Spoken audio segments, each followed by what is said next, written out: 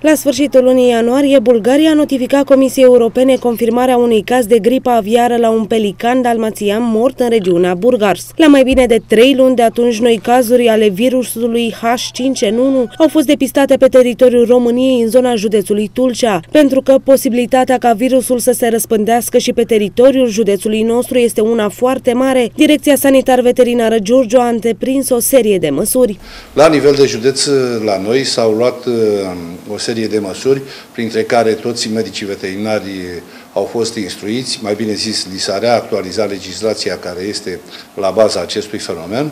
Uh, s-au luat, uh, iar la fel au fost instruiți toți administratorii de ferme avicole, care iar la fel pot fi, Doamne ferește, implicați în chestii de genul ăsta, iar uh, primăriile au fost atenționate pentru ca populația să nu mai uh, lase sau să nu mai fie permis uh, libera, libertatea păsărilor atât în spațiile de pe domeniul public, cât și a palmipedelor, când zic palmipede mă refer la bărațe și gâște, să nu mai fie lăsate libere pe lacuri, bălți. Tot ca o măsură primordială, membrii asociațiilor de vânători și pescari au fost instruiți cu privire la măsurile care trebuie adoptate în astfel de cazuri. Având în vedere această situație, medicii veterinari trag un semnal de alarmă și spun că orice caz de mortalitate a unei păsări din gospodărie trebuie adusă la cunoștință medicului veterinar. Aș vrea să fac apel la populație ca orice suspiciune, ca orice mortalitate care o are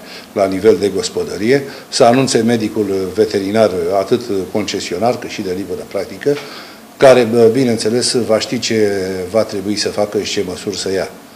Deci, apelez încă o dată la populație, orice mortalitate să fie uh, anunțată la medicul veterinar de care aparține.